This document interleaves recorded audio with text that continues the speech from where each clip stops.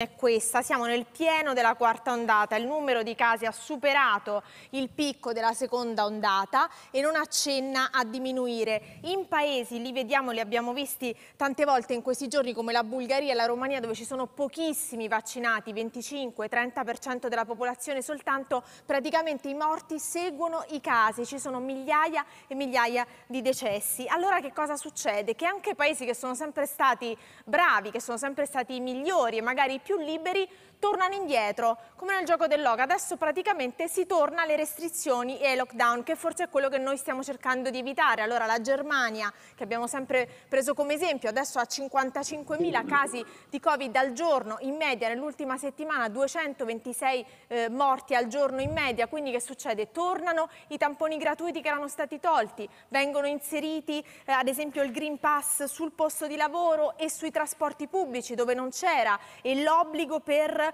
il, eh, i sanitari, per il vaccino per i sanitari che non c'era, quindi anche questo per loro è praticamente la rottura di un tabù perché c'è questa emergenza. In Olanda scatta il lockdown parziale, per cui bar e ristoranti chiudono alle 20, i negozi non essenziali alle 18, gli stadi tornano a porte chiuse, il distanziamento sul lavoro addirittura di 5 metri. Poi c'è l'Austria, l'Austria l'abbiamo vista prima, eh, aumento enorme di morti in pochi giorni, lockdown per tutti, dose booster addirittura anticipata a 4 mesi. I mercatini di Natale li abbiamo visti, questi erano i mercatini domenica, il giorno dopo, lunedì, tutto chiuso, tutto deserto e l'Austria ha anticipato e chiuso tutto, che è quello che noi probabilmente vogliamo evitare. La Danimarca, la Norvegia, paesi dell'Europa eh, del Nord che abbiamo sempre visto come i paesi più liberi, adesso reintroducono il Green Pass che avevano tolto, il Corona Pass in Danimarca e anche il Green Pass in Norvegia, per tutti per evitare il lockdown. E allora che cosa succede?